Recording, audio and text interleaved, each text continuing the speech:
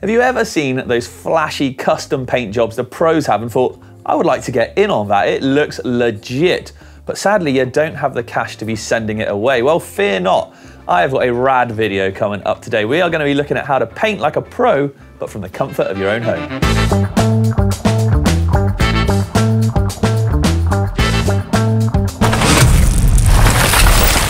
Yep, I'm going to be taking a dive into the world of spray painting, having never really done it before. So, not actually knowing sort of any of the prep, the processes, or the finishing. It is going to be a completely new one for me, and I do have a pretty cool frame to do it on. But to help guide me through this tricky world of paint and God knows what else, I'm going to be joined by professional spray painter Paul Laban of JMJ Designs, who very kindly actually has done stuff for me in the past, including custom bikes and a custom lid. So to keep things fairly simple and where I think a lot of us are going to begin, I have got this little beauty, this hardtail Canyon Stitch 360. It's to become my new pump track bike. But what do I do with it? Where do I begin? What colors? Who knows? So I think without further ado, we should head on down and meet Paul.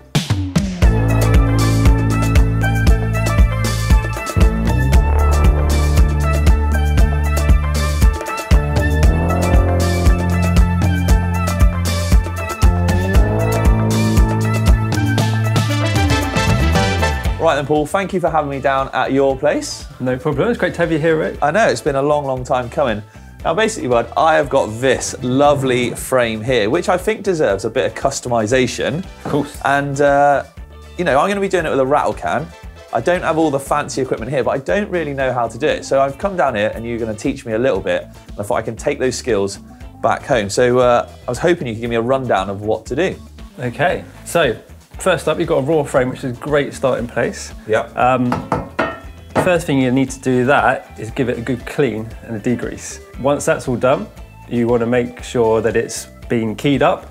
okay. So you can, in this case, it's it's pretty um, well keyed. Yeah. But you can go over it with a bit of sandpaper or some Just to take the, pads. take the shine off it, sort of thing. Yeah. Take all the greasy fingerprints of mine off as well. That's it. Well, you want to take, clean the fingerprints first and then sand it because you don't want to be sanding them into the. Okay. A lot of people and you guys and girls at home there, you are going to have painted frames that you are going to want to prep up. I was lucky this one came in fairly raw, but if I can just grab this one over here. Now this is a pretty standard hardtail frame. It's already painted, it's got bits of sticker on it and things like that. How would the folks at home go about prepping something like this? Okay, so there's a few ways you can prep frames. Um, it, a lot of it depends on the material of the frame. Uh, in this case, it's aluminium, and it depends on the condition of the current paint. If it's in good condition, um, again, you can sand it um, and prep it, and make sure you sand off all the logos so you can get nice smooth paintwork and things. Take off all the stickers. Would you need to take this one back to bare metal like the one I've got here?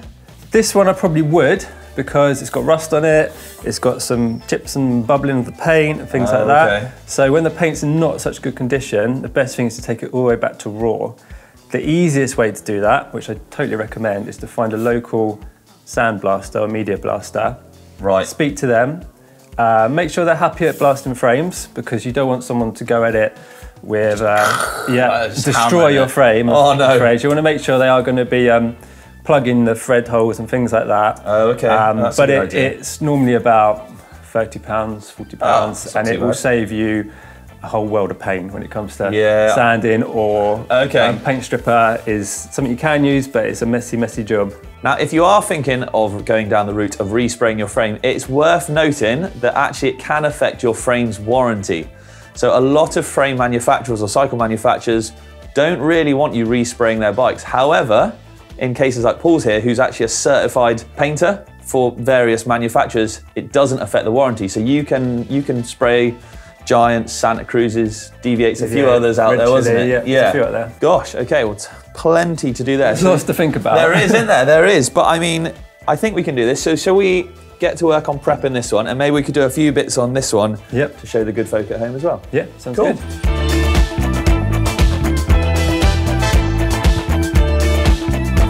Okay, so this is now, if we were doing it full on at home, not sandblasting or anything like that, Yep. this is what we do first. Quick, uh, quick rub down with the alcohol. Get Yeah. all the dirt and grime off. Yep. Okay. To clean. Always start clean. Gotcha. That's the main thing with painting is keeping everything clean. Okay. Um, which is why it's important to wear gloves, not just to protect your hands, but also to protect the frame from getting dirty. Okay. If you've got a frame which is in good condition, um, the paintwork's all solid, um, it's really just needs a good going over with something like this, which is a Scotch pad. Scotch pad. okay. Um, again, it's just a case of like rubbing it down, smoothing everything out. and that's enough, like, obviously a bit firmer, but that's enough just to take that shine off of it. Yeah, you want to give it a bit more than that, but yeah, you just want to give it a good old Bit of elbow grease. And you can see actually where it's is bumpy, it starts to flatten that out a bit as well, Okay. and that will give you enough for the paint to bite to. Right. Well, should we, uh, let's get the mask on. All right, Paul, I'm going to start on the chainstays back in, and I've got our 500 grit flexible sandpaper. We're masked up, and it's just giving it a good rub down, is it? Any lumps and bumps, any chips, try and sand them out smooth. Oh, you can really see, like, Yeah. like it coming off, don't you? I can see why you definitely got to wear some kind of mask for sure. Oh, look at that. Okay, and then let's get all around. I mean, this is not the frame we're going to spray, but it's good to show. All around our welds and stuff like that around there. Yeah, that does bring it up. Really smooth, doesn't Yeah. it? Really smooth. Right. You've spent the time getting your frame back to a good state, and hopefully, if you've had it sandblasted, it might look a little more like this one. I just a little something I prepped earlier for you, mate. just yeah, there, yeah, I put, ready. Put the time in. So once we've got it back to looking like this, gloves on, Gloves on always. yeah, and then it's it's out with the alcohol, but not for a drink, innit? Well, you can have a drink first. I might need it after that sanding. Yeah, so this is obviously every painter loves to be handed a raw frame because Mm-hmm. it takes away a lot of the prep work. So gloves on because any fingerprints, any oil on your hands will get into the, the metal, which Wow. you don't want for paint. Um, so to make sure it is super clean, again, you can get um, degreasers, Yeah. alcohol cleaners. Do you need a mask with this stuff? Because it can be pretty potent, can't It's, it? it's probably worth wearing a mask. Okay. This kind of stuff. All right then. We better put it on. Mask on. Mask on. Flame on. Again, you're just going to get a clean rag, bit Yeah. on there, just give it a good old rub all over. And it's purely to get grease and like any hand marks, stains, anything any, like that. any contaminants, anything that's going to affect the, Contaminants. Good anything that's going to affect the paintwork. Because paint and oil and grease don't go together very well. And you can see, you think it's clean, but if I just, you can see on mm, there, It is a bit grubby, yeah. Yeah, like you some see it's, like, it's black and horrible. Paul, she's prepped and ready. We've got our gloves on. What's the next stage then when it's back to basics like this? so next step, almost ready for paint, but what you don't want to be doing is getting paint in threads, down tubes, ah, and in the important areas. So masking is the next step. Okay, let's do that. Let's do it.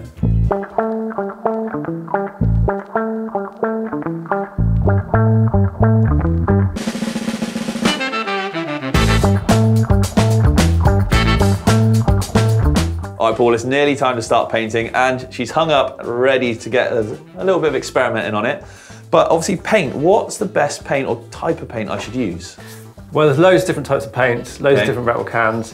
Um, main thing you want to do is make sure you're using one which is suitable for what you're painting. Okay. Um, always read the instructions. I hear though you want to try and paint like a pro. Oh, I'd like to try. I'm Try. Yeah, something a bit shiny. Using rattle cans, you want a shiny finish. Yeah, And glossy. of course, remembering you're starting with a bare frame. Yeah. So you're going to go for primer, Okay, so that's to of essentially all, prep the surface. prep the surface. Okay. That will etch and bite into your surface. Etch and bite. Ooh. Prepare it for then it'll be a, a base coat, So that'll be my, Okay. my colour essentially, the Yeah. whole colours, Colours. maybe.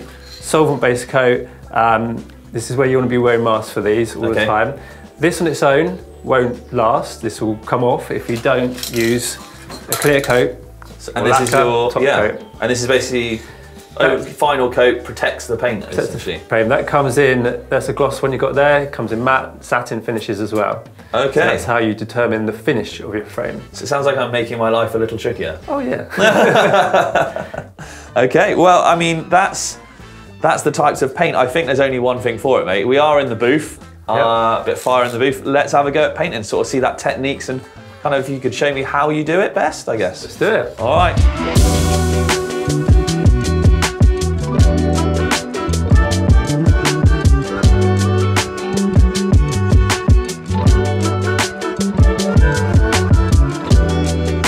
Paul, I think I have got spraying pretty dialed. What do you think? Absolute pro. okay, well, let's not go too far. Uh, what if I want to add, which I do, some proper personal touches, some real custom work to this, other than just a painting? What about a bit of stenciling? Uh, you showed me earlier actually a real cool way of making sort of homemade stencils. How, let's let's have a quick look. Yep, so obviously at home you don't have all the tools and things we have. No. So it's a simple way. So you get some standard masking tape, All right. just a couple of dibs on your top like that, just to take some of the tackiness off. Okay. Stick it down it there. down, and then you can use a pencil or whatever Right. to draw first if you want to, or if you just want to make some cool shapes. Here you go, on the spot. See if you can do a pentagon. How many sides the pentagon got? A five, in it? I think so. What's that? It's a house. what happened to the corner? And there you go. Cool. Okay, I feel like patience is a virtue on that one. I think. Painting is all about patience. Taking your time, patience. Uh, not known for that, I'll be honest. But I think we'll be all right. Okay, well, mate, I think. Do you know what? I've learned all I can possibly take into my brain today. It's been mega helpful. So I think I better get back to my garden and have a go. Yeah. You might expect a phone call now and again. you can phone me anytime, a day. All right, mate. Thank you very much for all your help. It's been a pleasure. No problem. Look forward to seeing it. Paul has left me to fend for myself then. So I've brought the frame home where I'm going to do all the prep work in my kitchen. Do you know what? My kitchen's been ripped out in about a few weeks' time, so I'm not too fussed on it. But if you're doing it in yours by any chance, then I would probably put a lot more rags down than I have here. But it's time to get it prepped. I'm to have the door wide open so there's loads of airflow for the cleaning. And I think that's about it. I think it's time to bite the bullet and get this frame custom.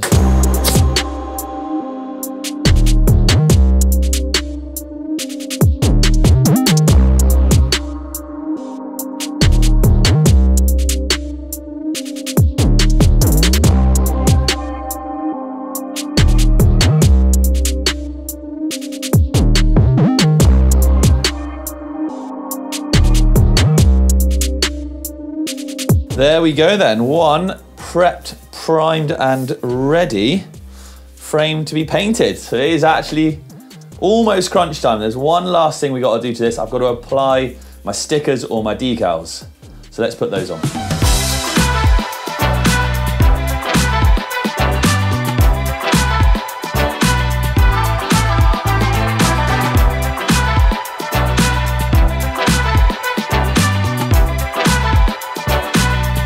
Yeah, I'd say like that wraps round fairly equally.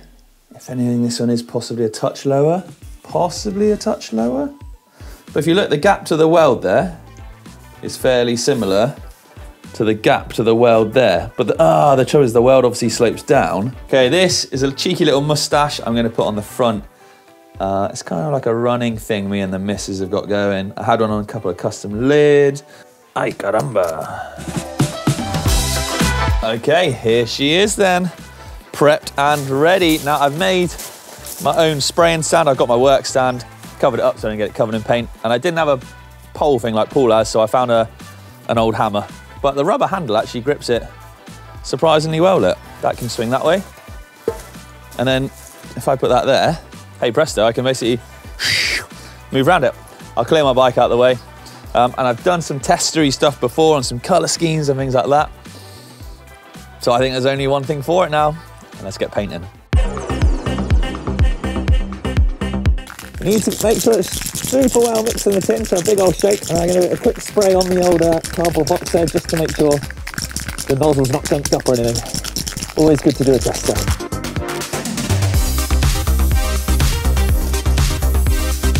Yeah, I think we're good. There's only one thing for it. Eh? Okay, I've not also got my best clothes on. I should warn you that if you're if you're protective of your clothes, put ovals on. I'm not too much.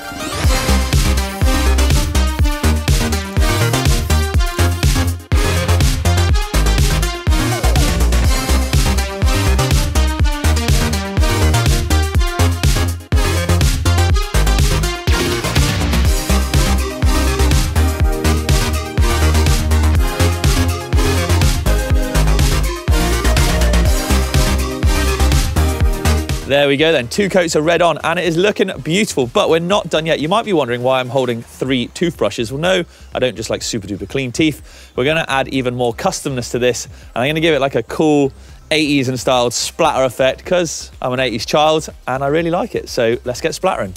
All right, give the paint a good mix again. And like I said before, I have done a bit of a tester of this. I looked up online how to do this actually.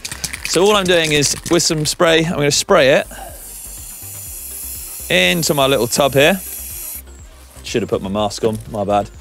And then you just basically dip the paintbrush in and splatter. But just to make sure I'm absolutely happy with it, I'm gonna do it on my cardboard box again, just to make sure I've got my, my technique right. Maybe I need a firmer bristle. So let's just dunk that in there. Oh, yeah. Okay. Moment of truth.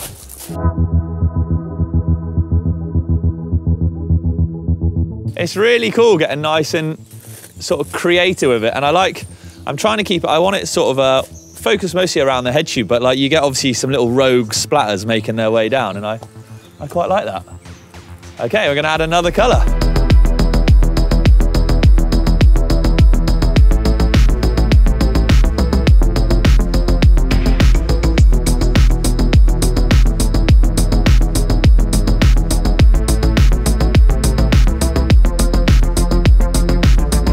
Splatters are dried then and it's coming up good but now it's time to lacquer it. So i'm going to mask up again get my gloves on.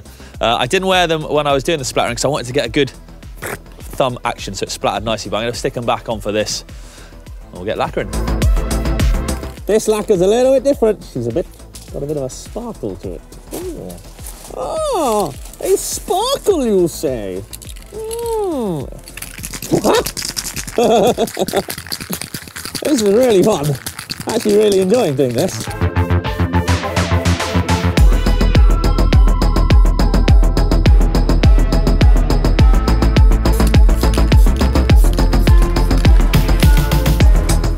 No way.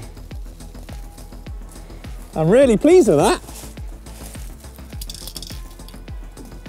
All right, let's let that dry a moment before we go de-stickering or anything like that. She's very nearly finished then. This is the bit I was most nervous about, and it's basically removing those stickers I put down at the start. Here goes my uh, steady hand. Oh no! I'm scared. Okay, ready? Oh my god, my hand's so wobbly. Oh! Oh! Look at that! Oh, that is crisp. Look how good that looks. We might have to hide inside in a moment though, because it's starting to rain. And uh, I need to then lacquer this after. Actually, it is raining a bit. Abort mission. We're going inside to the kitchen.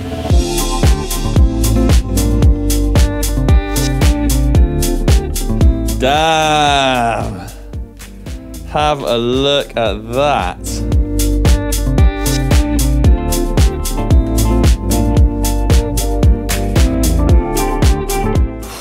That was a bit nerve wracking, but those have come off so good. Uh, let's get a clear coat of lacquer on that and then head back to the studio.